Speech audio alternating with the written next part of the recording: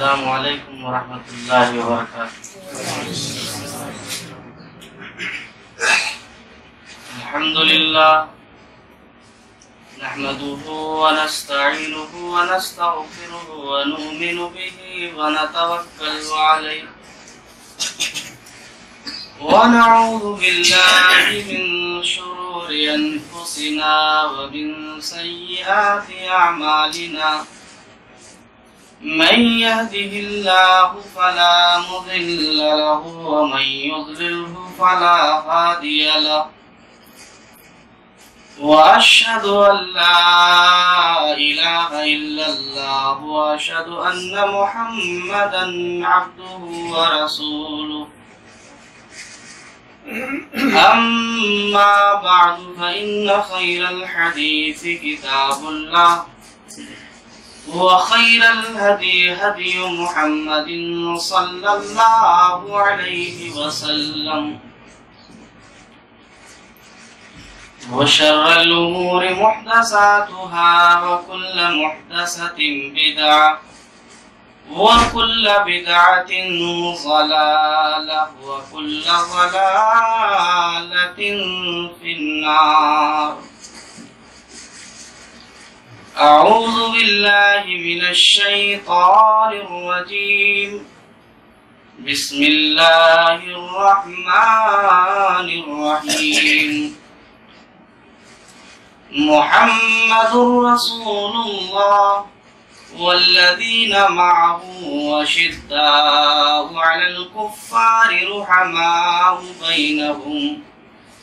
تراهم ركعا سجدا يبتغون فضلا من الله ورضوانا.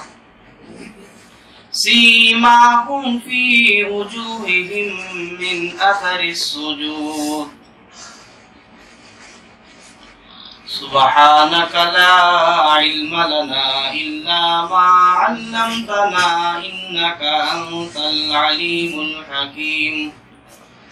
اللهم مالك الملك تؤتي الملك من تشاء وتنزع الملك ممن تشاء وتعز من تشاء وتذل من تشاء بيدك الخير إنك على كل شيء قدير رب اشرح لي صدري ويسر لي أمري واحلل عقدة من لساني يفقه قولي. رب زدني علما.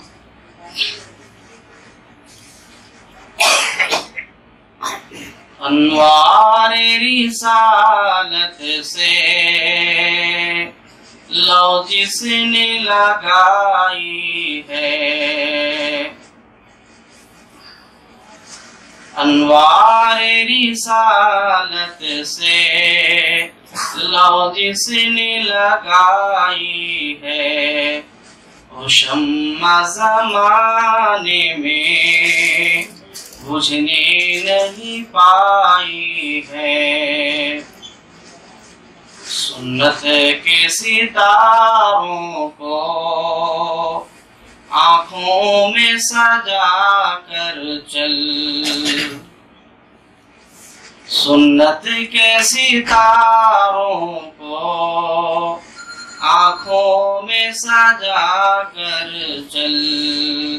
بدعت کا اندھیرا ہے اور شرک کی کھائی ہے۔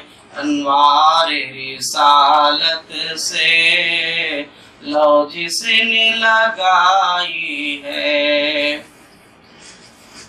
ہم بلبل شیدا ہیں گلزار محمد کے۔ صلی اللہ علیہ وسلم۔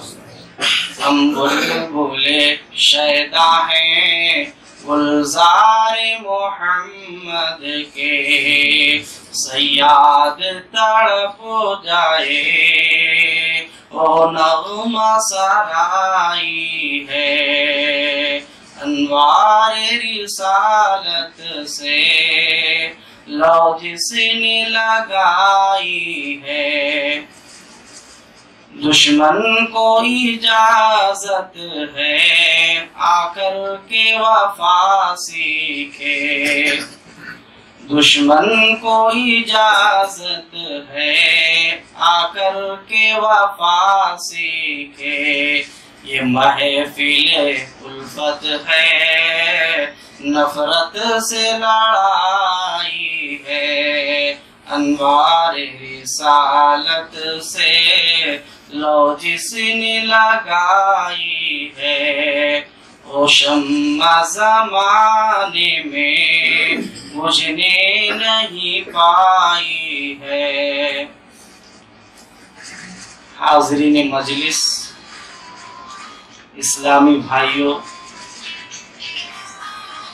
تمام تر تعریف اور توصیف اللہ تبارک و تعالیٰ کے لیے لائق اور سزاوار ہیں۔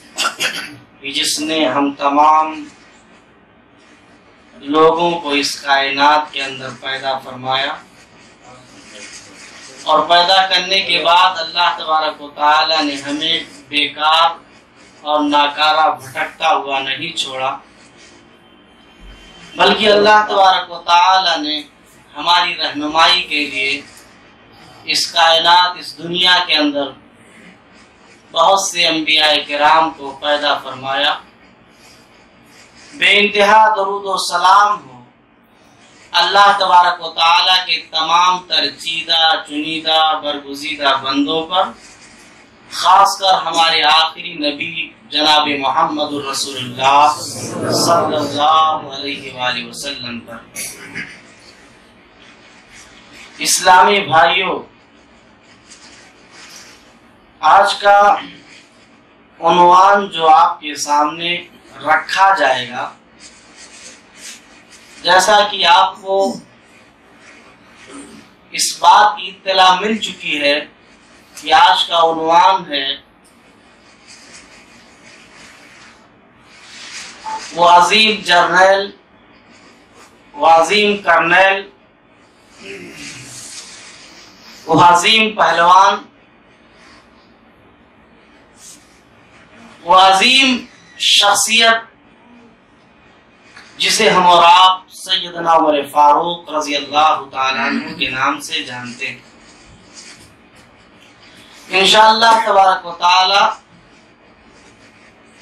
آپ کی سیرت طیبہ پر چند منٹ گفتگو کی جائے گی، لیکن گفتگو سے پہلے ہم اللہ تبارک و تعالی سے دعا کرتے ہیں۔ کہ اللہ العالمین ہمارے وہ احباب جو ایسی دین و ایسی دین محفلوں کا انعقاد کیا کرتے ہیں، اللہ رب العالمین ان کے اس اخلاص عمل کو تو قبولیت کا درجہ عطا فرمائے۔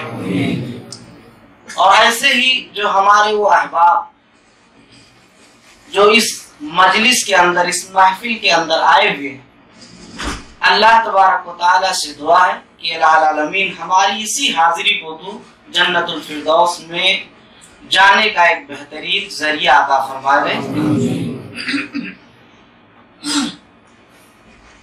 آئیے سیرت عمر فاروق کے تعلق سے باتیں آپ کے سامنے کہنی ہے لیکن اللہ تبارک و تعالی سے یہ دعا کرتا ہوں کہ اللہ العالمین تو ہمیں کتاب و سنت کے آئینے میں اللہ اور اس کے رسول صلی اللہ علیہ وسلم کی باتوں کو کہنے کی توفیق عطا فرمائے اور ساتھ ہی ساتھ ہم سب کو اس پر عمل کرنے کی توفیق عطا فرمائے۔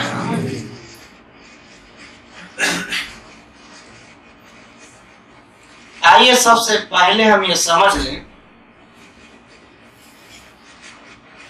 کہ صحابی کہتے کسے ہیں؟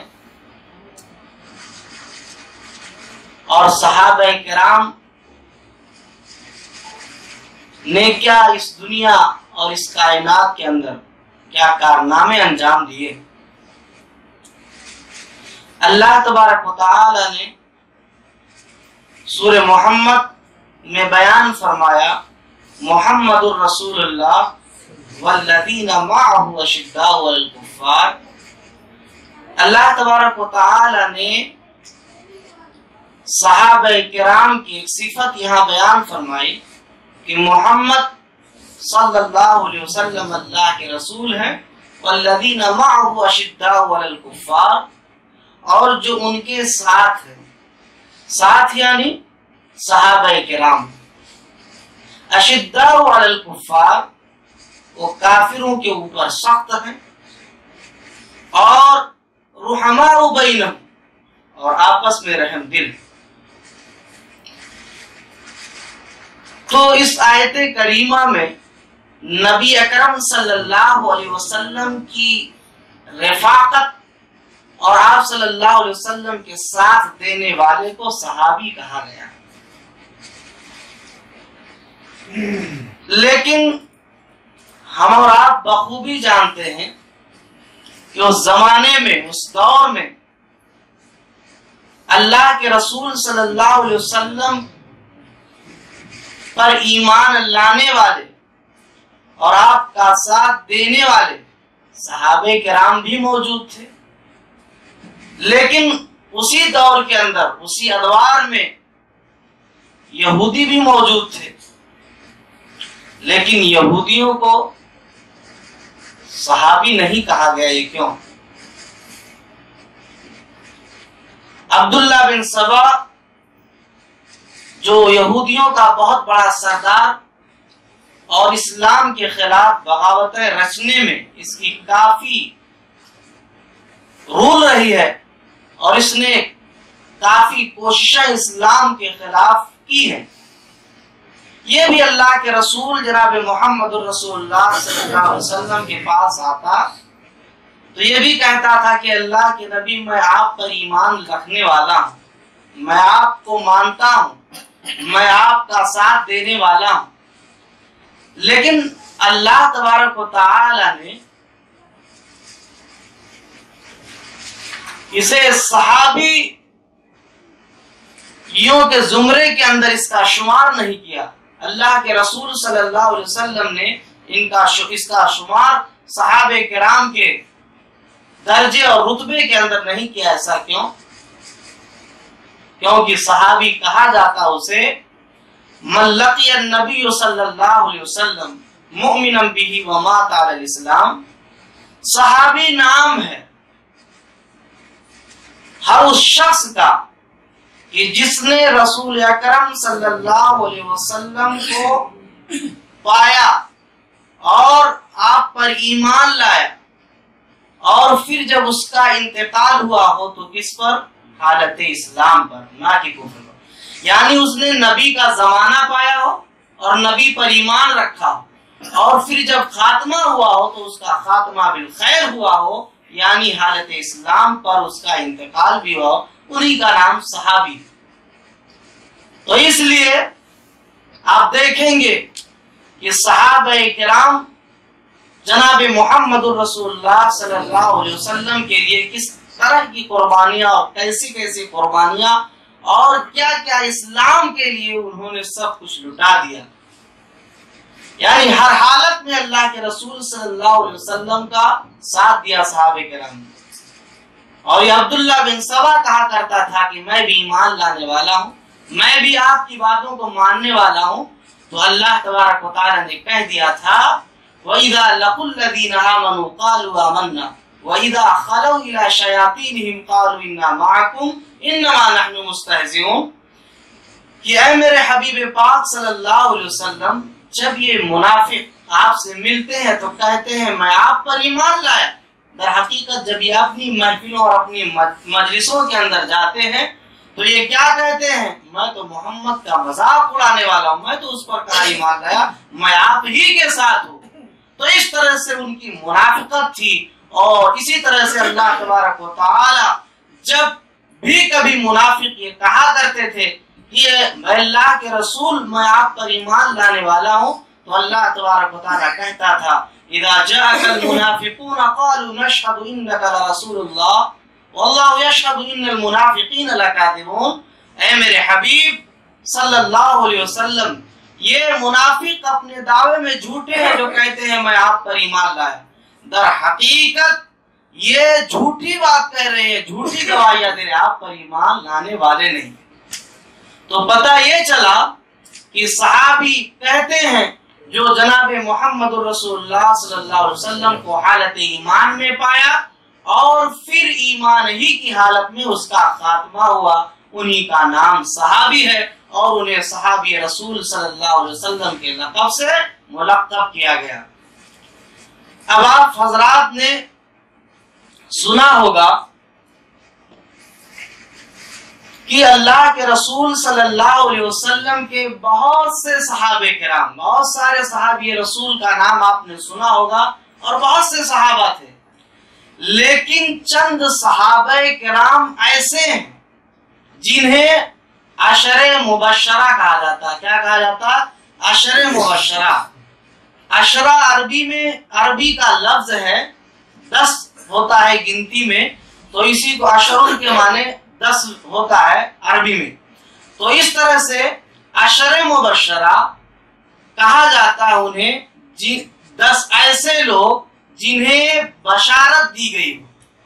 تو عشر مبشرہ میں سے دس صحابی رسول ہیں جنہیں اللہ کے رسول جناب محمد الرسول اللہ صلی اللہ علیہ وسلم نے اس دنیا کے اندر جنت کی بشارت سنائی۔ ان صحابہ کرام میں سے چار صحابی رسول صلی اللہ علیہ وسلم حضرت ابو بکر صدیق رضی اللہ تعالیٰ عنہ، حضرت عمر فاروق رضی اللہ تعالیٰ عنہ، حضرت عثمان غنی رضی اللہ تعالیٰ عنہ حضرت علی رضی اللہ تعالیٰ یہ چار خلفائے راشدین ہیں جن کا نام عموماً ہمارے سماج اور ہمارے معاشرے کا ہر فرد جانتا ہے۔ تو یہ لوگ بھی عشر مبشرہ میں سے ہیں جنہیں دنیا کے اندر ہی اللہ کے رسول صلی اللہ علیہ وسلم نے جنت کی بشارت دی۔ چنانچہ آپ نے خلیف اول حضرت ابو بکر صدیق رضی اللہ تعالیٰ عنہ کی سیرت کے حوالے سے آپ نے گفتگو پچھلے ہفتہ سماعت فرمایا اب اس ہفتے کے اندر عمر فاروق رضی اللہ تعالیٰ عنہ کی سیرت کے حوالے سے گفتگو کرنا ہے۔ دیکھیے آپ کے سیرت کے کئی پہلو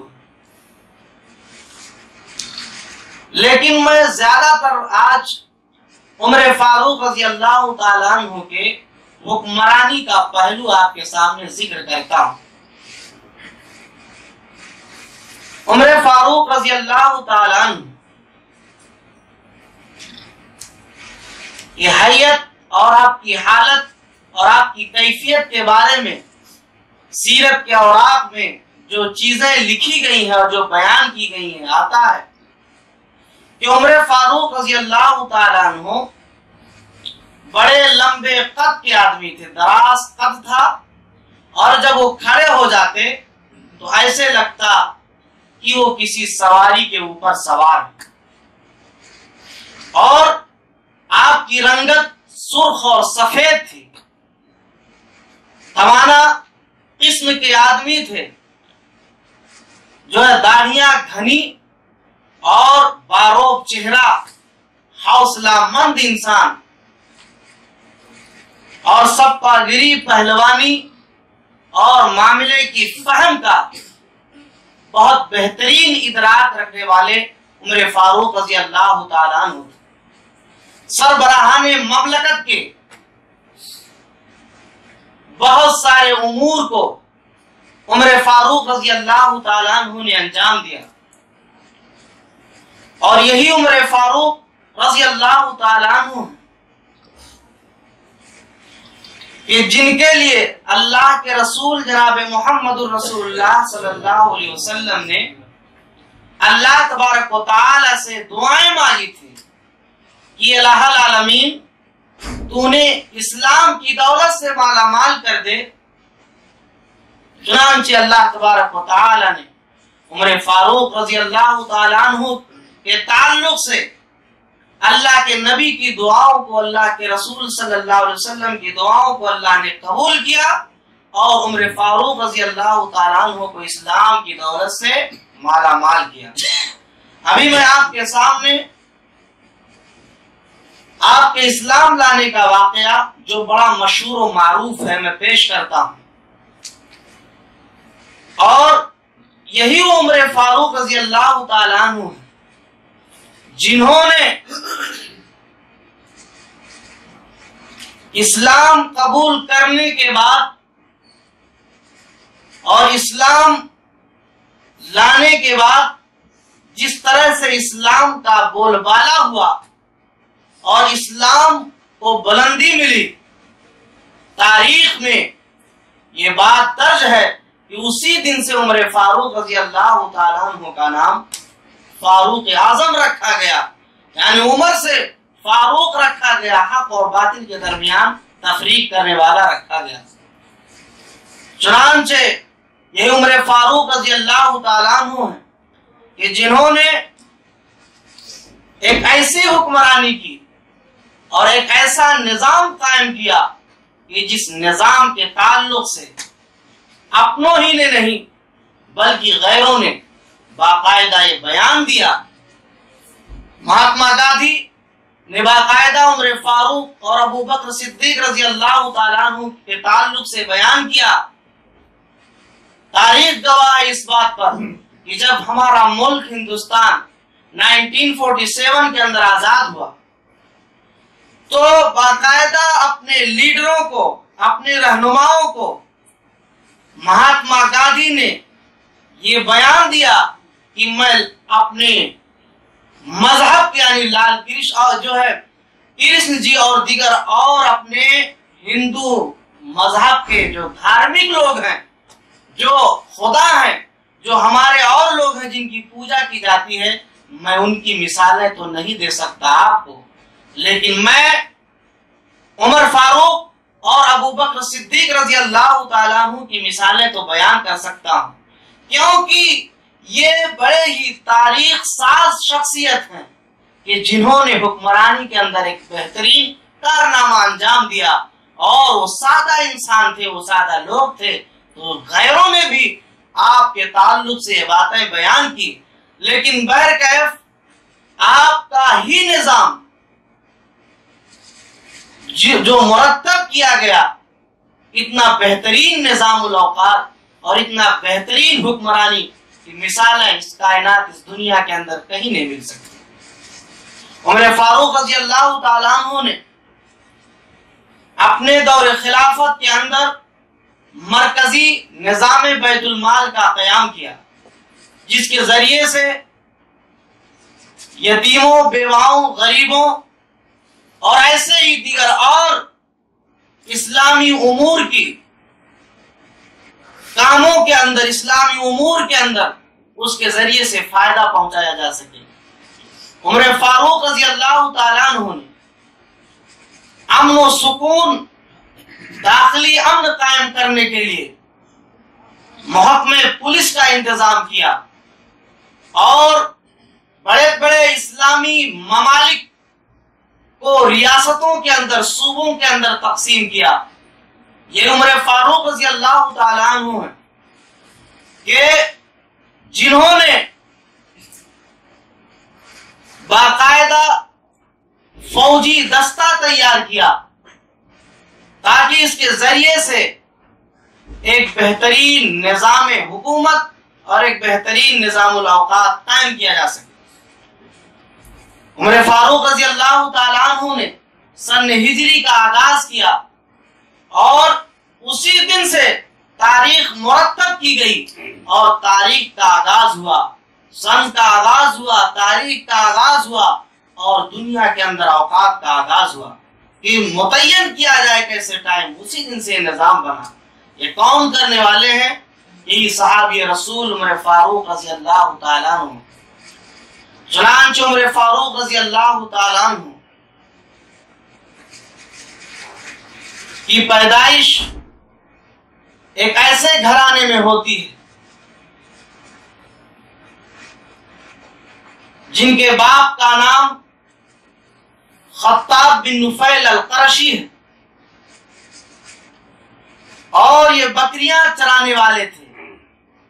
چنانچہ عمر فاروق رضی اللہ تعالیٰ عنہ بھی ان کے ساتھ بکریاں چرایا کرتے تھے۔ اور اپنی خالہ کی بھی بکریاں عمر فاروق رضی اللہ تعالیٰ اپنے بکریوں کے ساتھ لے جا کر کے چرایا کرتے تھے۔ چنانچہ یہ گھبرو جوان، یہ باروب جوان باروب چہرہ جب چھبیس سال کی عمر میں پہنچتا ہے، تو حالات اور کیفیت کیسی ہوتی ہے؟ عمر کی جلال اور ان کے عظمت کا جو ان کے خاندان اور ان کے لوگوں کے اندر موجود تھا، کہ لوگوں کو ان کے اوپر بڑا ہی فخر ہوا کرتا تھا۔ چنانچہ عمر فاروق رضی اللہ تعالیٰ عنہ جب چھبیس سال کی عمر کو پہنچے، تو عمر فاروق رضی اللہ تعالیٰ عنہ نے اپنی گردن کے اندر تلوار کو لٹکائی اور کہا کہ آج میں کیوں نہ ایسے شخص کا سر قلم کر دوں جو میاں بیوی کے اندر جدائی ڈال دیتا ہے، باپ بیٹے کے اندر جدائی ڈال دیتا ہے، گھر خاندان کے اندر تفرقہ پیدا کر دیتا ہے۔ آج میں ہاشمی خاندان کے عبد المطلب کے پوتے جناب محمد رسول اللہ صلی اللہ علیہ وسلم کا سر قلم کر دیتا ہوں۔ تو جب اتنا بڑا کارنامہ میں انجام دے لے جاؤں گا، تو میرے قوم کے لوگ، میرے خاندان والے میری تو بڑی آہ کریں گے۔ مجھے تو بہت شاباشی دیں گے اور میرا پرجوش جو استقبال کریں گے، میں تو بڑا اچھا کام کیا۔ چنانچہ عمر فاروق رضی اللہ تعالیٰ عنہ یہ تمام تر تمنائیں اور یہ تمام تر ولولے لے کر کے اپنے گلے میں تلوار لٹکا کر کے نکلے اور راستے کے اندر نعیم بن عبداللہ جسے ایک شخص کہا جاتا ہے یہ شخص سے ملاقات ہوئی۔ اب دیکھا، یہ تو عمر ہے اور عمر مارے غیظ و غضب اور غصے کے سمائے نہیں جاتے ہیں۔ کہا عمر، آخر کیا ماجرا ہے، کیا معاملہ ہے؟ کہا کہ میں جاتا ہوں اس شخص کے پاس۔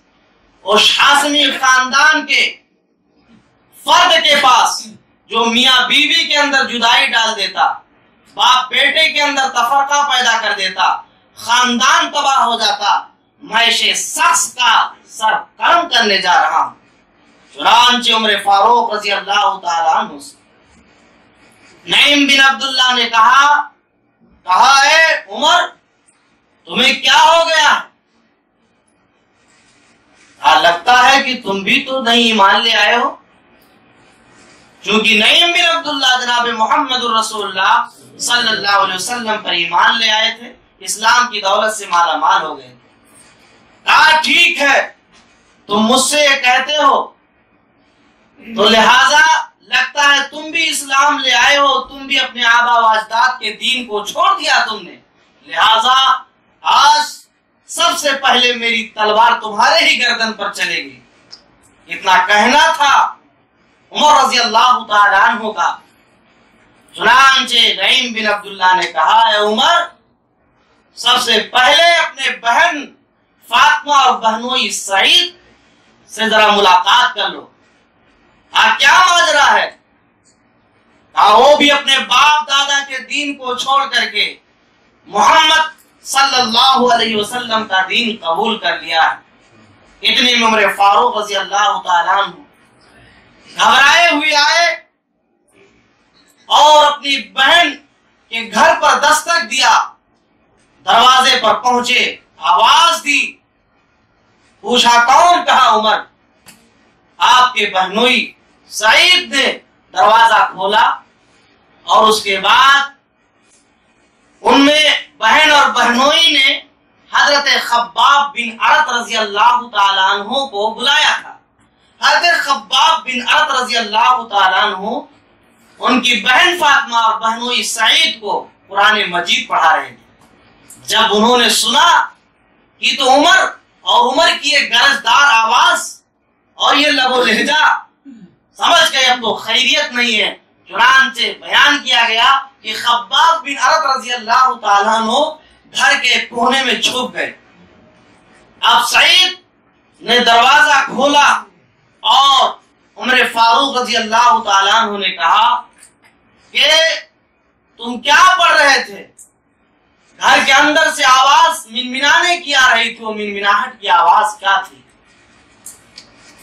کہا کہ عمر، اگر تمہارے آبا و اجداد کے دھرم کے علاوہ، دین کے علاوہ کسی اور کے دین سے کوئی اچھی بات مل جائے یا کسی کا دین اور اچھا ہو، تو اس کو مان لینے میں، اس کو قبول کر لینے میں کیا حرج ہے؟ اس کا مطلب تم نے اپنے آبا و اجداد کے دین کو چھوڑ دیا، تم نے محمد کے نئے دین کو قبول کر لیا، صلی اللہ علیہ وسلم۔ چنانچہ اتنا کہنا تھا اللہ اکبر، کفر اور شرک کا اور توحید کا کتنا بڑا دشمنی ہے۔ اور اس دشمنی کا نتیجہ دیکھیے کہ کفر اور توحید کی وجہ سے آدمی اپنی رشتہ داریوں کو بھی نہیں پہچانتا۔ چنانچہ حضرت عمر رضی اللہ تعالیٰ عنہ اپنے بہنوئی کے اوپر چڑھ بیٹھتے ہیں اور یہ معاملہ، یہ ماجرا آپ کی بہن فاطمہ دیکھتی ہے تو دیکھی کہ میرے بھائی یہ شرکسی میرے شوہر کے اوپر ایسا ہے۔ یہ تو میرے شوہر کو جان لینے کے لیے تیار ہیں، چنانچہ بہن نے دھکے دیا۔ اور گائے عمر، تم کیوں ایسے شخص کو مارنے کی کوشش کرتے ہو؟ اتنا کہنا تھا۔ کہ بھائی نے عمر فاروق نے اپنی بہن فاطمہ کو تھپڑ رسید کیا اور بیان کیا گیا تاریخ کے اندر کہ گر پڑی اور گر ایسی مار تھی کہ آپ کے منہ سے خون نکل آیا۔ پھر اس کے بعد کھڑی ہوئی اور کہنے لگی کہ عمر، میں ایسے دین کو ہم نے قبول کر لیا ہے، جو دین جناب محمد رسول اللہ صلی اللہ علیہ وسلم لے کر کے آئے۔ میں اسے ہرگز نہیں چھوڑ سکتی۔ اور میں نے اس اسلام کو قبول کر لیا ہے۔ اب تمہاری مرضی جو ہے، جو کرنا چاہو کرو۔ کہا اسی سے حافظ جلندھری نے شیر جو نقشہ کھینچا ہے، بہن بولی عمر، تو چاہے ہم کو مار بھی ڈالے شکنجے میں کشے یا بوٹیاں کتوں سے نچوا لے میں اس دین حق سے ہرگز باز آ نہیں سکتی۔ یعنی اس دین حق کو میں کبھی بھی چھوڑنے والی نہیں۔ مجھے دین مل گیا، دین اسلام کو میں نے قبول کر لیا، بہترین دین ہے۔ چنانچہ عمر فاروق رضی اللہ تعالیٰ عنہ نے کہا کہ اے میری بہن، تجھے اتنی جرات نہیں ہوتی تھی پہلے، مجھ سے تو گفتگو کر لے۔ لیکن آج تیری جرات کا کیا کہنا؟ تیرے اندر کون سا ولولا کون سا جذبہ پیدا ہو گیا؟ اے میری بہن، تو نے یہ اتنا جرات مندانہ قدم اٹھایا اور مجھ سے گفتگو کر لی۔ کہا، یہی دین اسلام ہے جس نے مجھے تمہارے سامنے جو ہے جرات پیدا کر دی بولنے کے لیے۔ کہا، عمر فاروق رضی اللہ تعالیٰ نام پڑ گئے اور کہنے لگے کہ ذرا وہ کلام دکھاؤ۔ جو کلام تم اپنے آنچل کے اندر، اپنے دوپٹے کے اندر چھپا کے رکھی ہو، جسے تم لوگ پڑھ رہے تھے، وہ کون سا کلام؟ ہمیں بھی بتلاؤ۔ بہن نے بیوا کا بیوا کے دوہل یہ کہا، اے میرے بھائی، اے عمر، میں اس کلام کو تمہیں پڑھنے کے لیے ہرگز نہیں دے سکتی۔ کیوں؟ اس لیے کہ تم جاؤ، سب سے پہلے غسل کر کے آؤ، اس کے بعد تم اس کلام کو لو۔ چنانچہ عمر فاروق رضی اللہ تعالیٰ عنہ غسل کر کے آئے، نہا کر کے آئے اور پھر بہن نے دیا کلام پاک کو اور آپ نے طاہا ما انزلنا الیک القرآن تشقا الا تذکرتا لمن یخشا۔ تنزیلا ممن خلق الارض والسماوات الاولى الرحمن على العرش استوى یہ سورہ طاہا پڑھا اور سورہ طاہا کی تلاوت سنی اور سورہ طاہا کا یہ کمال مقدس کمال کہ عمر فاروق رضی اللہ تعالی عنہ کہنے لگے کہ بتاؤ وہ نبی کہاں ہے؟ وہ محمد کہاں ہے؟ صلی اللہ علیہ وسلم، ذرا ہمیں ان کا راستہ تو بتلاؤ۔ اب خباب بن عرت رضی اللہ تعالیٰ عنہ جو گھر کے کونے میں چھپے تھے، وہ مارے خوشی کے نکل کے آئے اور کہنے لگے، اے عمر، کل ہی میں نے نبی یہ محترم جناب محمد الرسول اللہ صلی اللہ علیہ وسلم سے یہ دعا سنی تھی کہ اللہ عمر کو تو اسلام کی دولت سے مالا مال کر دے۔ اللہ تبارک و تعالی نے نبی پاک صلی اللہ علیہ وسلم کی دعا کو سن لی اور آپ کو اسلام کی دولت سے مالا مال کیا۔ چنانچہ عمر فاروق رضی اللہ تعالیٰ عنہ کو لے کر گئے جناب محمد الرسول اللہ صلی اللہ علیہ وسلم کے پاس۔ دروازے پر دستک دی گئی۔ حضرت حمزہ بن عبد المطلب رضی اللہ تعالیٰ عنہ نے دروازہ کھولا۔ کہا، عمر فاروق رضی اللہ تعالیٰ عنہ کے گردن اور گریبان کو پکڑ لیا۔ اس وجہ سے پکڑا کہ کہیں ایسا نہ ہو، عمر تلوار کے ذریعے ہم پر وار کر دے۔ اللہ کے رسول جناب محمد الرسول اللہ صلی اللہ علیہ وسلم نے دیکھا۔ کہا آنے دو۔ کیونکہ جبریل کے ذریعے اللہ کے رسول کو ساری باتوں کی اطلاع ہو جائے کر آنے دو، اگر یہ صحیح معلوم میں آتا ہے، تو اس کی خیر ہے۔ اور اگر یہ غلط نیتوں سے آ رہا ہے، تو اس کی خیریت آج نہیں ہے۔ چنانچہ عمر فاروق رضی اللہ تعالی عنہ آگے بڑھے اور اللہ کے رسول صلی اللہ علیہ وسلم نے آپ کا گریبان پکڑا۔ اور گریبان پکڑنے کے بعد کہا بولیے کیا ماجرا ہے؟ کیا معاملہ ہے؟ بتلائیے۔ کہنے لگے ہے مدنی تاجدار، محمد ربی صلی اللہ علیہ وسلم، آتا ہے سیرت کے اندر کی مارے شرم کے عمر فاروق جو غرض رہے تھے آوازوں کے ذریعہ، جو چمک رہے تھے اپنے چہروں کے ذریعہ، جو پہلوانی کا جذبہ تھا اپنی طاقت کے ذریعہ، ان ساری طاقتوں پہ ایسا لگ رہا تھا کہ دربار رسالت میں پہنچنے کے بعد پانی ہے بالکل۔ ایک دم پانی ایک دم سب کچھ ختم ہو گیا ہے۔ اور اپنے آپ کو جو کہتے ہیں نا، یہ آدمی سلنڈر کر دیا۔ اپنی غلطیوں کے بعد آدمی اپنے آپ کو کورٹ میں، جیلوں کے اندر جا کر کے اپنے آپ کو حاضر کر دیتا ہے۔ یعنی اپنے آپ کو جو ہے، پیش کیا اور پانی پانی ہو گئے۔ اور اللہ کے رسول، میں صلی اللہ علیہ وسلم میں بہت زیادہ اپنی خطاؤں پر نادم ہوں۔ کہا، کیا معاملہ ہے؟ کہا محمد الرسول اللہ صلی اللہ علیہ وسلم اشہد اللہ الہ الا اللہ واشہد ان محمد عبدہ و رسولہ. اے اللہ کے رسول، آج میں ایمان لاتا ہوں، میں گواہی دیتا ہوں کہ ایک اللہ ہے، اسی کی عبادت کی جائے، وہی عبادت کے لائق ہے۔ اے اللہ کے رسول صلی اللہ علیہ وسلم، آپ اللہ کے بندے اور اس کے رسول ہیں۔ چنانچہ عمر فاروق رضی اللہ تعالیٰ عنہ ایمان کی دولت سے مالا مال ہوئے اور ایمانی جذبہ کا عالم یہ ہوا کہ اسلام کا بول بالا اس طرح ہوا کہ اللہ اکبر مسلمان چھپ چھپا کر کے نمازیں پڑھ رہے تھے۔ چھپ چھپا کر نماز پڑھ رہے تھے اور مشرقین آپ کو بہت زیادہ ستا رہے تھے۔ چنانچہ عمر فاروق رضی اللہ تعالیٰ عنہ جب اسلام لائے تو آپ نے کہا اللہ کے رسول یہ سب کیا ماجرا ہم لوگ چھپ کر کیوں کرتے ہیں؟ اللہ کے رسول کہیں ہم غلطی پر تو نہیں ہے ہم لوگ غلط ہیں کیا؟ کہ جو ہم چھپ کر کے عبادت کر رہے ہیں۔ اللہ کے رسول جناب محمد الرسول اللہ صلی اللہ علیہ وسلم نے کہا، نہیں کہ ہم لوگ صحیح دین پر ہیں اور حق راستے پر ہیں۔ تب کہا اللہ کے رسول، تو پھر دبنے کی کیا بات ہے؟ چھپنے کی کیا بات ہے؟ اللہ کے رسول، اعلانیہ طور پر نہ عبادت کی جائے۔ چنانچہ محمد الرسول اللہ صلی اللہ علیہ وآلہ وسلم۔ اور آپ کے پیارے صحابہ کرام اور فاروق رضی اللہ تعالیٰ عنہ نے چاہ کر کے اعلانیہ طور پر کعبے کے اندر نمازیں ادا کی اور عبادت کا اعلان کیا اور عمر فاروق رضی اللہ تعالیٰ عنہ کہنے لگے کہ اے وہ لوگوں ہجرت کے وقت میں تو اسلام قبول کر لیا اور جب آپ اسلام قبول کیے تو ان کے کنبے، ان کے قبیلے، ان کفر اور شرک کے خانوادوں کے اندر مایوسی چھا گئے اور لوگ شرم و حیا کی وجہ سے اپنے چہرے کو چھپانے لگے۔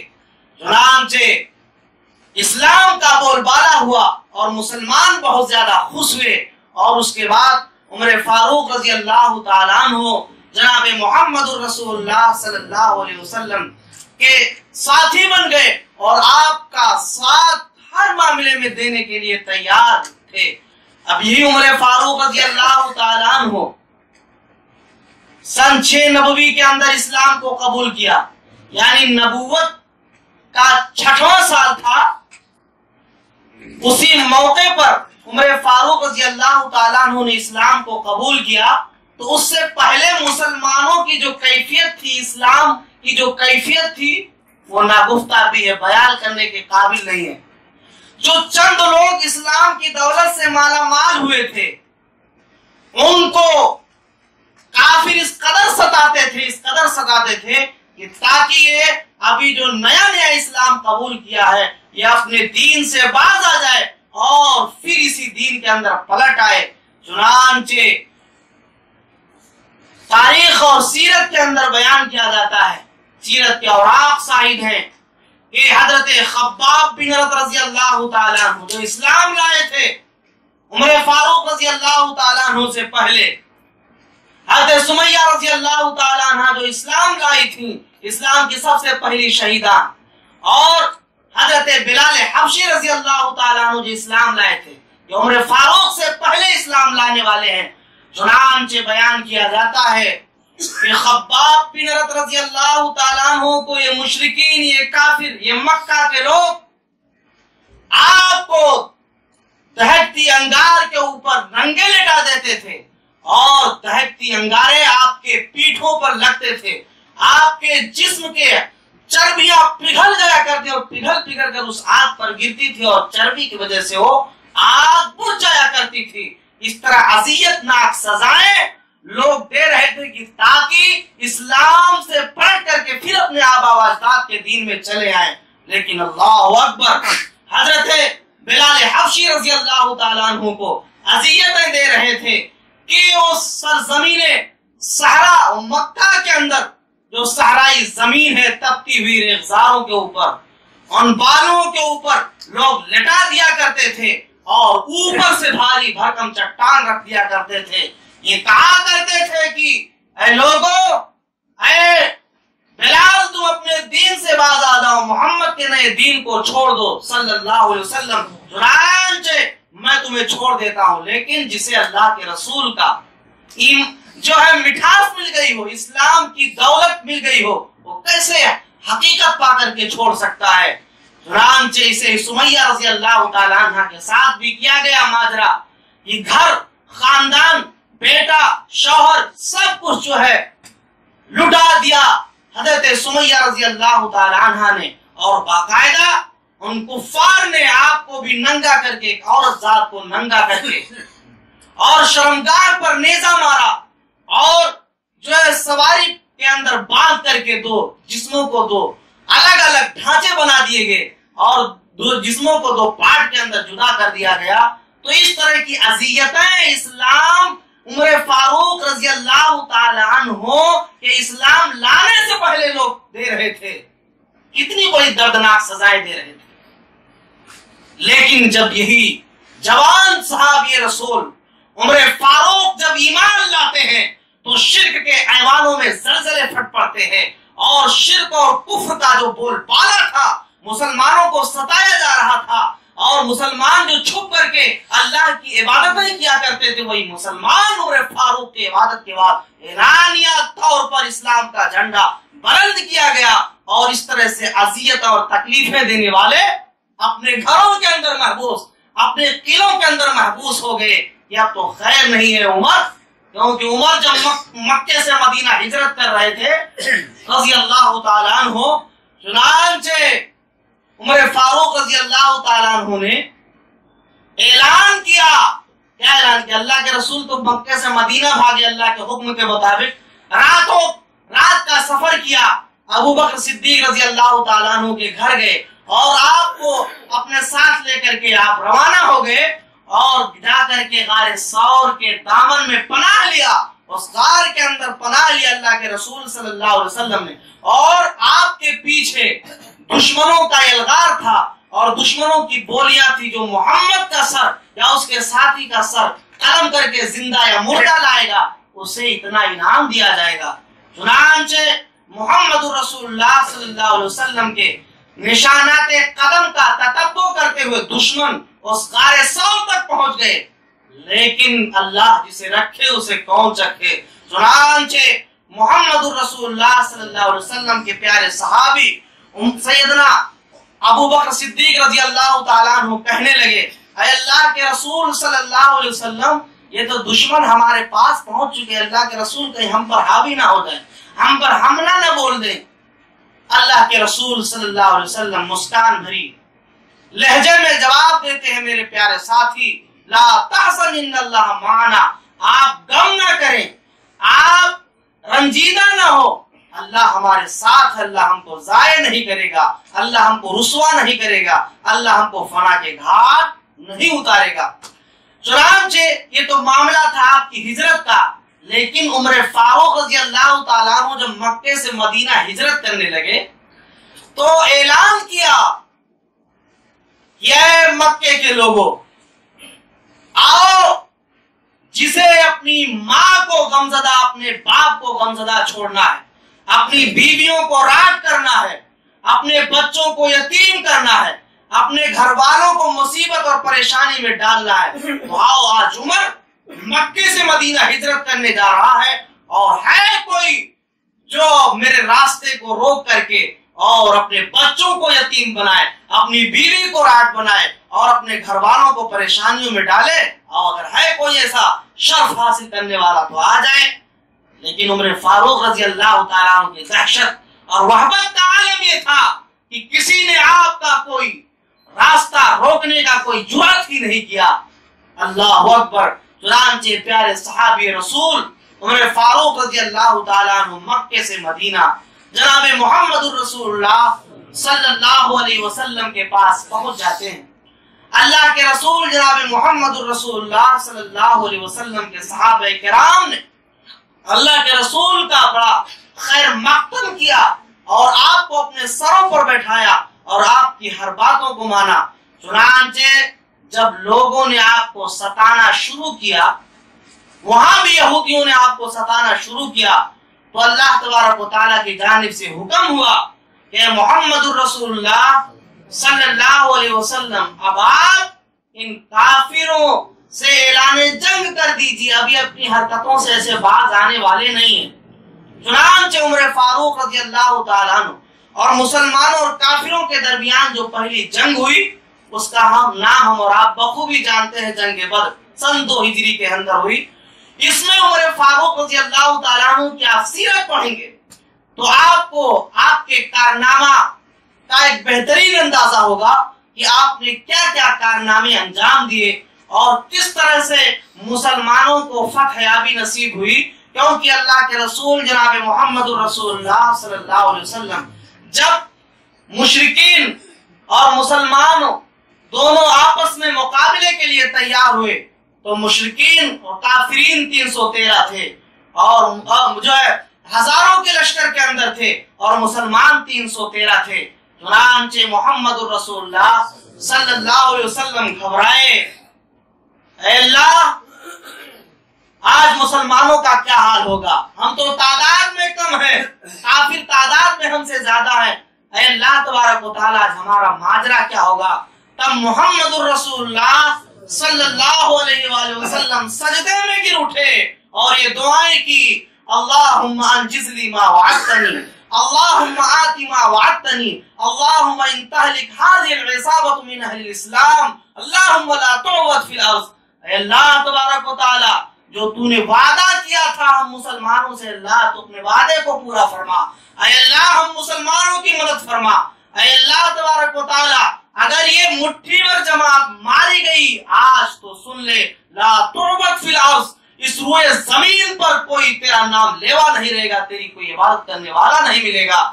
چنانچہ اللہ کے رسول جناب محمد الرسول اللہ صلی اللہ علیہ وآلہ وسلم یہ دعائیں کر رہے تھے۔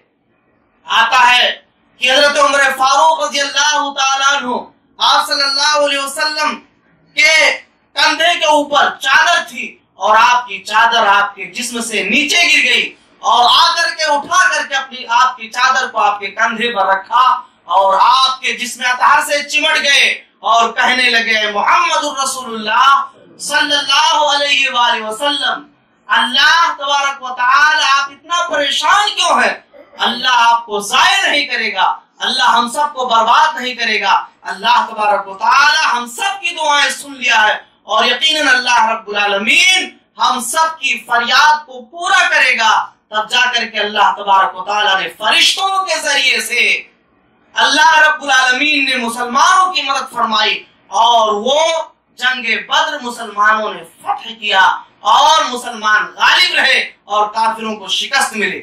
اسی طرح سے بہت سارے کارنامے ہیں عمر فاروق رضی اللہ تعالیٰ عنہ کے جنگ کے اندر اور دیگر اور جنگ اور غزوات کے اندر۔ لیکن اب ہم چلتے ہیں عمر فاروق رضی اللہ تعالیٰ عنہ کی، کیونکہ آپ کی سیرت کے بہت سارے پہلو ہیں۔ لیکن میں نے کہا کہ آپ کے حکمرانی کے پہلو پر چند مختصر سی باتیں میں آپ کے سامنے کرنا چاہتا ہوں۔ عمر فاروق رضی اللہ تعالیٰ عنہ حکمرانی کے باب میں ایک ایسے قائد ہیں، ایک ایسے رہنما، ایک ایسے لیڈر ہیں جن کی کوئی مثال اس دنیا کے اندر، اس کائنات کے اندر نہیں دی جا سکتی ہے۔ اللہ اکبر، حضرت ابو بکر صدیق رضی اللہ تعالیٰ نے تمام تر صحابہ کرام سے مشورے کے بعد حضرت عمر فاروق رضی اللہ تعالیٰ عنہ کو زمام خلافت دیا۔ یعنی آپ کو خلیفہ بنایا اور خلافت آپ کے نام زر کیا۔ چنانچہ عمر فاروق رضی اللہ تعالیٰ عنہ تمام تر صحابہ کرام کے مشورے سے اور حضرت ابو بکر صدیق رضی اللہ تعالیٰ عنہ نے اپنی زندگی ہی میں خلافت کا بعد دو صحابہ کرام کے مشورے سے عمر فاروق رضی اللہ تعالیٰ عنہ کو دیا اور بہت سے صحابہ کرام نے آپ کی خلافت کے تعلق سے یہ تائید بھی کی کہ عمر فاروق ہی اس وقت جو ہے خلافت کے لائق ہے اس کے اندر، ان کے اندر بہت سارے ایسی خوبیاں پائی جاتی ہیں جو خلافت کے بعد دور بآسانی سنبھال سکتے ہیں اور خلافت اچھی طرح سے سنبھال سکتے ہیں۔ چنانچہ عمر فاروق رضی اللہ تعالیٰ عنہ خلیفہ بنائے گئے۔ تو آپ کی خلافت کیا کیا کہنا؟ اللہ اکبر۔ کہ جنہوں نے تھوڑی سی دنیا چھوڑ کر کے پوری دنیا کے اوپر حکمرانی کی۔ اس دنیا کا، اس کائنات کا تھوڑا سا حصہ باقی بچتا ہے۔ باقی تمام تر دنیا پر، پوری دنیا کے اوپر عمر فاروق رضی اللہ تعالیٰ عنہ نے حکمرانی کی ہے۔ اور عمر فاروق رضی اللہ تعالیٰ عنہ کی حکمرانی بھی ایک عجیب، ایک غریب، ایک نادر مثال پیش کرتی ہے۔ جو آنے آنے والے وقتوں میں اور رہتی دنیا تک کے لیے تمام تر قائد اور تمام تر سربراہان مملکت کے لیے ایک بہترین نمونہ اور اسوا ہے۔ اللہ اکبر۔ عمر فاروق رضی اللہ تعالیٰ عنہ۔ خلافت کے بعد ڈور آپ کے ہاتھوں میں دی دی جاتی ہے۔ اب عمر فاروق رضی اللہ تعالیٰ عنہ نے سادگی کی زندگی اور بڑی کٹھن کی زندگی گزارنے کی عمر فاروق رضی اللہ تعالیٰ عنہ نے عہد لیا کہ میں بڑی کٹھن زندگی گزاروں گا اور سادگی کی زندگی بسر کروں گا۔ اللہ اکبر۔ اور خطبے کے اندر باقاعدہ لوگوں کو خطاب کرتے ہوئے کہا کہ اے عرب کے لوگوں، عربوں کی مثال، اونٹ کے ناک میں جو نکیل پڑی ہوتی ایسے ہی ہوا کرتی ہے۔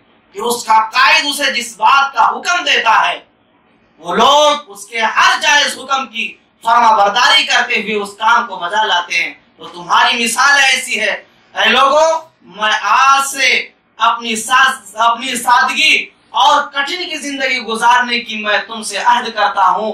اور میں کوئی کمی اور کوتا ہی نہیں کروں گا اپنی جانب سے، اور میں تم لوگوں سے ہر اس چیز میں مشورہ طلب کرتا ہوں جو ہماری خلافت میں بہتری بہتری کے لیے اور ہماری زندگی کے لیے اور ہم سب کے لیے بہتری ہو، تم مشورے بھی دینا۔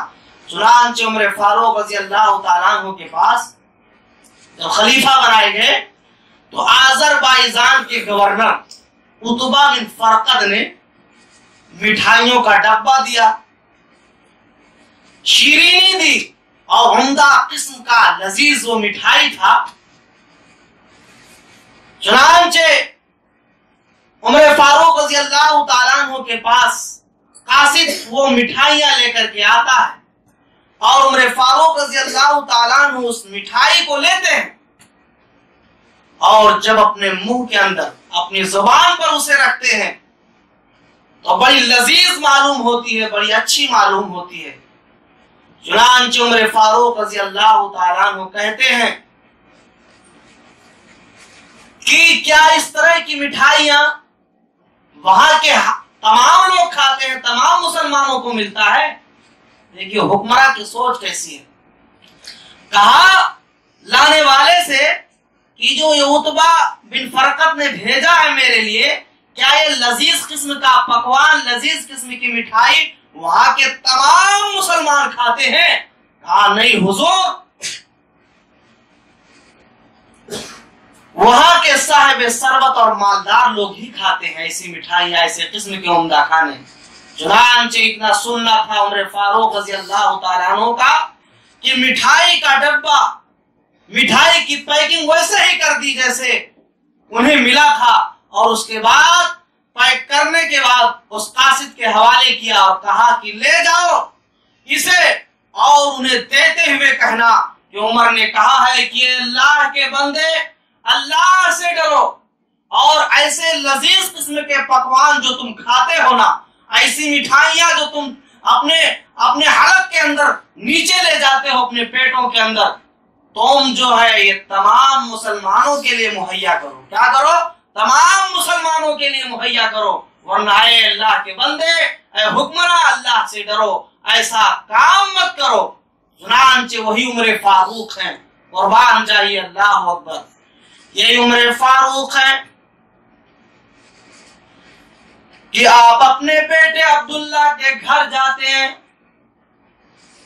آپ کا بیٹا عبداللہ اپنے گھر کے اندر عالی شان اور شوکت و عظمت کے ساتھ زندگی بسر کر رہا ہے۔ عمر فاروق رضی اللہ تعالیٰ عنہ پہنچتے ہیں۔ دیکھتے ہیں کہ ان کا بیٹا بھنا ہوا گوشت کھا رہا ہے۔ کیا کھا رہا ہے؟ بھنا ہوا گوشت کھا رہا ہے۔ اللہ اکبر۔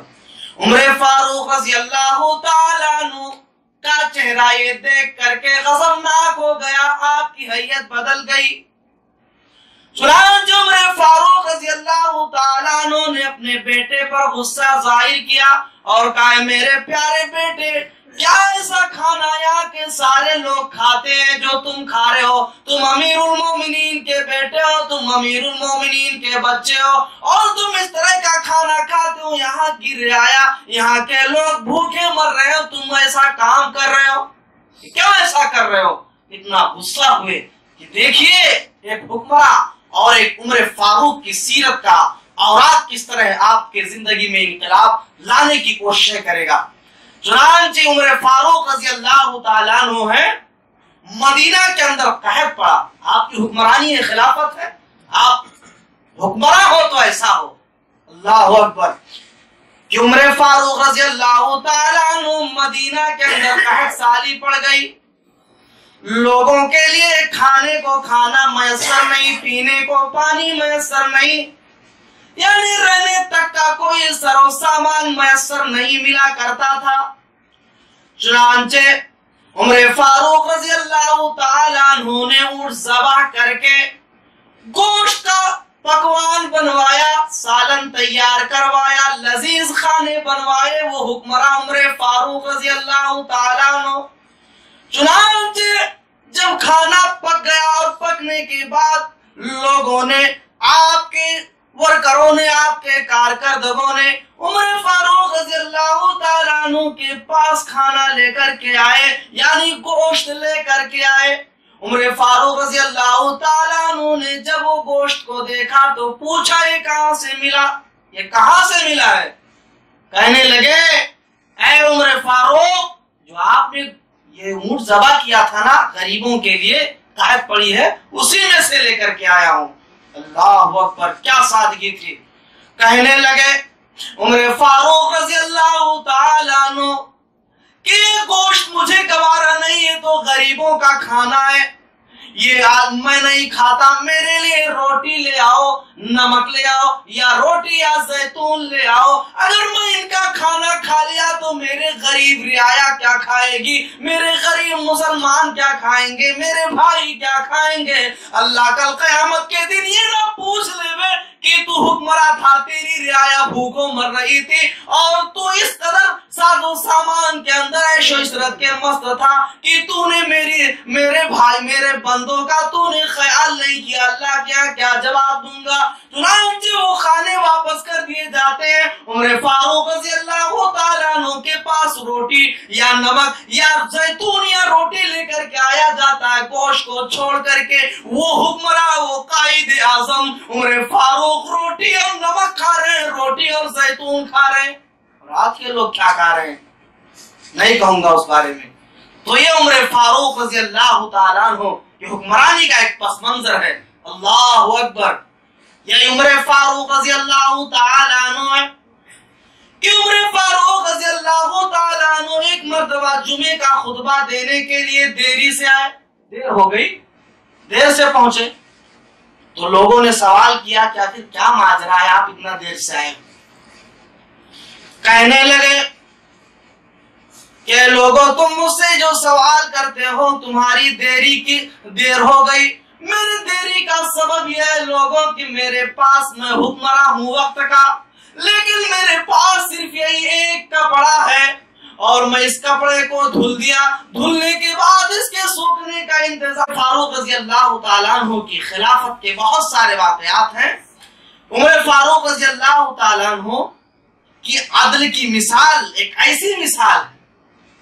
کہ جس جو دنیا کے اندر بیان کرنے جائے جائے تو ایسی تاریخ کے اندر اور کہیں اور ہسٹری کے اندر آپ کو نہیں ملے گا۔ اسی لیے مہاتما گاندھی نے کہا تھا کہ اگر عمر فاروق کی عدالت کو اس ملک ہندوستان میں نافذ کر دیا جائے تو پھر ہندوستان ایک سونے کی چڑیا بن جائے گا، بہترین ملک ہو جائے گا، امن و امان قائم ہو جائے گا اور سکون اور اطمینان قائم ہو جائے گا۔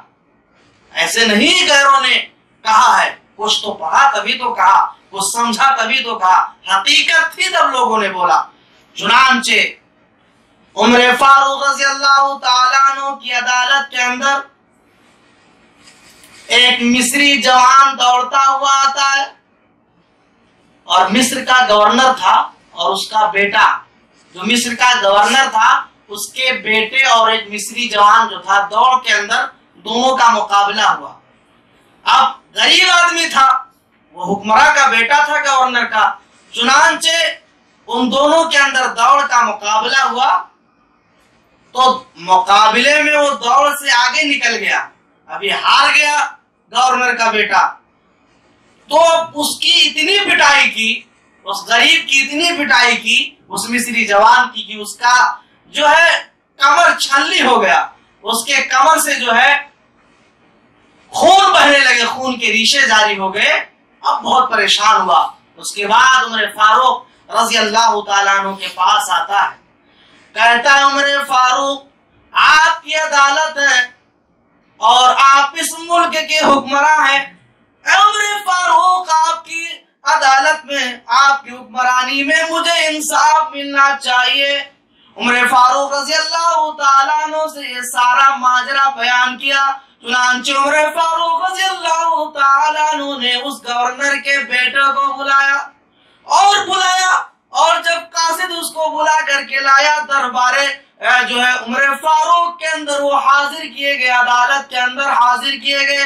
عمر فاروق رضی اللہ تعالیٰ عنہ نے پوچھا، اس جوان سے کیا وہی آدمی ہے؟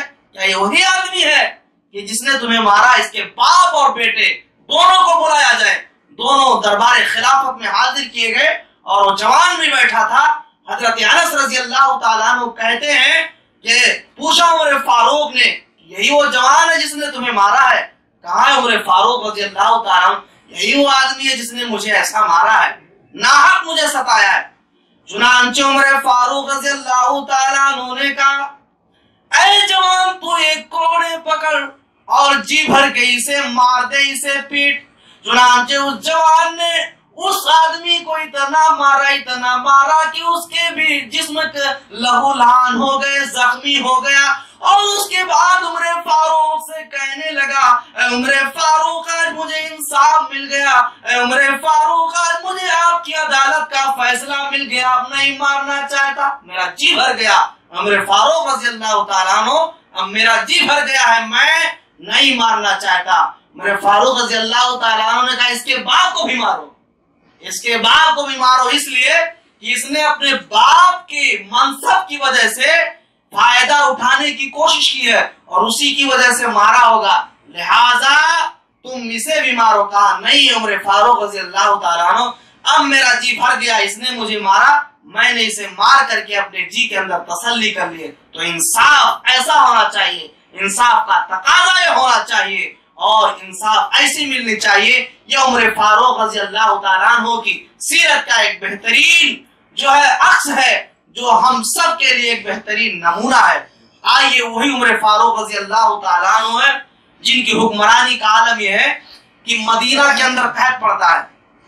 دیکھیے، ادھر ادھر بولنا جو ٹھیک نہیں ہے، حالات صحیح نہیں ہے اس لیے مثالیں بہت ساری دی جا سکتی تھی مثالوں کو دے کر کے اور لوگوں کو نشانہ بنایا جا سکتا تھا۔ لیکن میں صرف اپنے دین کے رہنما اور رہبروں کی بات کرنا چاہتا ہوں کہ کس طرح جو حکمرانی کی اور حکمرانی کا ایک بہترین انداز کیا تھا۔ مدینے کے اندر قحط سالی پڑی۔ آپ کچھ خاندان مدینے سے باہر بھوکو تڑپ رہا تھا۔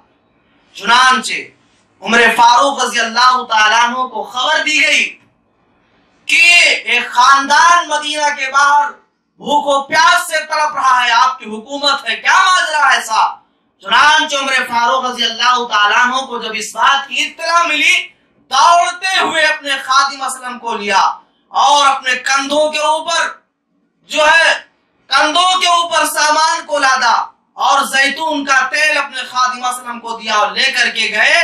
اور عمر فاروق رضی اللہ تعالیٰ عنہ نے اپنے ہاتھوں سے اللہ اکبر کیسے حکمراں تھے اپنے ہاتھوں سے آٹے کو گودھا روٹی بنائی، سالن تیار کیا گیا اور پھر مدینہ کے باہر جو بھوکوں سے تڑپ رہے تھے، ان تمام تر لوگوں کو عمر فاروق رضی اللہ تعالیٰ عنہ نے اپنے ہاتھوں سے کھانے بنا کر کے کھلائے اور سیراب ہو گئے وہ لوگ۔ اس کے بعد ان کے پاس رہنے کو گھر نہیں تھا اور پینے کو پانی نہیں تھا، یہ ساری چیزیں عمر فاروق رضی اللہ تعالیٰ عنہ نے میسر کی اور انہیں دے دیا۔ اب وہ لوگ ان تمام تر چیزوں سے بے نیاز ہو گئے۔ میرے بھائیو، یہ ایسے حکمراں عمر فاروق رضی اللہ تعالیٰ عنہ تھے۔ عمر فاروق کیسے حکمراں تھے؟ اللہ اکبر۔ عمر فاروق رضی اللہ تعالیٰ عنہ ایک مرتبہ شام کا وقت ہو گیا۔ حضرت عبد الرحمن بن عوف رضی اللہ تعالیٰ عنہ سے کہا کہ چلو ہم فلا جگہ گشت کر کے آتے ہیں، دیکھتے ہیں کیا ماجرا ہے، کیا حال ہے۔ اللہ اکبر، عمر فاروق رضی اللہ تعالیٰ عنہ۔ جاتے ہیں ایک بستی کے پاس، تو رات ہو گئی ہے، رات کے اندر ایک بچے کی رونے کی آواز آ رہی بچہ رو رہا ہے، ماں اسے جو ہے، جو سلا رہی ہے اور اسے جو رونے سے روک رہی ہے۔ چنانچہ ایک مرتبہ ہوا، دو مرتبہ ہوا، تین مرتبہ ہوا۔ اس طرح سے وہ ماں اپنے بچے کو تھپکیاں دے دے کر کے سلا رہی تھی، لیکن بچہ رو رہا تھا۔ عمر فاروق رضی اللہ تعالیٰ عنہ پہنچے اور اس عورت سے کہا کہ کیا ماجرا ہے، تمہارا بچہ کیوں رو رہا ہے؟ کہا، جاؤ، تم سے کیا واسطہ ہے؟ میرا بچہ رو رہا، کوئی معاملہ نہیں ہے۔ پھر اس کے بعد عمر فاروق رضی اللہ تعالیٰ عنہ آئے۔ پھر دوبارہ گئے دیکھا، پھر بچہ رو رہا، پھر ماں جو ہے اپنے بچے کو تھپکیا دے کر کے سلا رہی ہے۔ بچہ نہیں سو رہا ہے۔ چنانچہ اس عورت سے عمر فاروق رضی اللہ تعالیٰ نے کہا، کیا ماجرا ہے؟ کیوں نہیں رو رہا؟ کیوں نہیں چپ ہو رہا آپ کا بچہ؟ کیوں رو رہا ہے؟ اس خاتون نے کہا، جاؤ، یہ تمہارا معاملہ نہیں ہے۔ میں اپنے بچے کو سلا رہی ہوں۔ یہ نہیں سو رہا ہے، رو رہا ہے۔ پھر تیسری مرتبہ ایسے ہوا۔ عمر فاروق رضی اللہ تعالیٰ نے پوچھا ہے خاتون، آخر کیا ماجرا ہے؟ بتاؤ نا۔ کہا، اے وہ شخص کون تھے؟ عمر فاروق ہی تھے اور حکمراں تھے۔ کہا، اے وہ شخص سن لے، اس مملکت کا مالک بادشاہ فاروق ہے، جو دودھ چھوڑنے ہوئے بچے کی وظیفہ جاری کر دیتا اپنی سلطنت سے۔ تو آج یہ یہ میرا چھوٹا بچہ ہے، ابھی دودھ چھوڑنے کے قابل نہیں ہے۔ ابھی یہ دودھ پینے کا اس کا وقت ہے، لیکن میں وقت سے پہلے اس کا دودھ چھڑا رہی ہوں۔ اس وجہ سے یہ بچہ دودھ چھڑانے کی وجہ سے رو رہا ہے۔ اور اگر یہ دودھ چھوڑ دیا تو عمر کے دربار میں جاؤں گی اور یہ معاملہ پیش کروں گی تو عمر جو ہے اس کا وظیفہ جاری کر دے گا۔ اللہ اکبر پلٹ کر کے آئے عمر فاروق رضی اللہ تعالیٰ عنہ۔ بیان کیا جاتا ہے سیرت کے اندر، اس قدر رو رہے تھے، اس قدر رو رہے تھے اللہ اکبر۔ فجر کی نماز پڑھا رہے تھے عمر فاروق رضی اللہ تعالیٰ عنہ۔ اور آپ کی ہچکیاں بچ گئی آپ تلاوت نہیں کر پا رہے تھے سلام پھیرنے کے بعد کا۔ کہا عمر نے، کتنے معصوموں کی جان لے لی عمر کی حکمرانی نے؟ اللہ اکبر، وہ کتنے بچوں کی جان لے لیے جاؤ، آج سے عمر ہر نو مولود بچے کی، ہر دودھ چھوڑے ہوئے بچے کی وظیفے کو جاری کر دیتا ہے۔ کسی کے اندر کوئی تفریق نہیں کر دیتا ہے۔ میرے مولا، میری گرفت نہ کرنا، میرا پکڑ نہ کرنا۔ آج عمر یہ جان کر کے سارے بچوں کے وظیفے جاری کر رہا ہے۔ میری وجہ سے کتنے بچے جو ستائے جا رہے تھے۔ اللہ اکبر، یہ عمر فاروق رضی اللہ تعالیٰ عنہ کیسے حکمراں تھے؟ حکمراں عمر فاروق یہ تھے، دیکھو۔ کہ ایک شخص ہے، گھر کے باہر رو رہا ہے، تڑپ رہا ہے، اور گھر کے اندر سے ایک عورت کے کراہنے کی آواز آ رہی ہے۔ اللہ اکبر، کائے کرا رہی تھی، معلوم ہے؟ غریب آدمی تھا بیچارہ، اور اس کی بیوی حمل سے تھی۔ اور دردزہ کے اندر وہ مبتلا تھی اور آدمی بیچارہ پریشان تھا۔ گھر کی عمر فاروق رضی اللہ تعالیٰ عنہ کو اطلاع ملی۔ چنانچہ عمر فاروق رضی اللہ تعالیٰ عنہ اپنی ہاتھوں سے کھانے بنا رہا تھا اپنی بیوی کو میرے بیوی کی دیکھ بھال کے لیے کر دیا تھا۔ یہ ہے عمر فاروق جس کی مثالیں دنیا پیش کرتی ہے مسلمانوں، اللہ والوں۔ یہ ہے تاریخ، اللہ اکبر۔ ایسے حکمراں تھے۔ اور نہیں جانتے ہو، آج لوگ لوگوں کا ترک نہیں سمجھ پاتے ہیں۔ کہاں رہی ہے دنیا، لیکن دنیا کے حکمراں ایسے کام نہیں انجام دے پا رہے ہیں۔ رات کو گشت کر رہے تھے۔ ہمارے اور آپ کی طرح نہیں کہ زمانہ آیا تو ہم چلے گئے لوگوں میں۔ وقت ختم ہو گیا، پھر ہمارا کوئی پتہ نہیں۔ میرے فاروق راتوں کو گشت کیا کرتے تھے، معلوم کیا کرتے تھے۔ کہاں کس چیز کی ضرورت ہے؟ اللہ اکبر، ایک رات گشت کر رہے تھے کہ ایک عورت تھی اشعار پڑھ رہی تھی، کچھ گیت گا رہی تھی، اور وہ گیت کا ترجمہ کیا تھا معلوم ہے؟ جو کچھ کہنا وہ چاہتی تھی۔ شوہر کافی دن سے بیچارہ جدا تھا، اور اپنے اپنے شوہر کی جدائی کے اس میں غم کے اندر وہ کچھ اشعار، کچھ گیتیں گا رہی تھی۔ اللہ اکبر۔ آج بھی لوگ ہوا کرتے ہیں۔ چنانچہ جب وہ حالات معلوم کیا عمر فاروق رضی اللہ تعالیٰ عنہ نے، صبح ہوتے ہی تو پتہ یہ چلا کہ اس کا شوہر اس سے کافی دن ہو گیا، جدا ہو گیا۔ چنانچہ عمر فاروق رضی اللہ تعالیٰ عنہ نے پوچھا، اپنی بیٹی حفصہ سے پوچھا ہے حفصہ، ایک عورت، ایک مرد اپنی عورت سے کتنے دن جدا رہ سکتا ہے؟ بیٹی شرماتی ہوئی، جواب دی، ابا جان، ایک مہینے۔ پھر شرماتے ہوئے، جواب دیا ابو جان، دو مہینے۔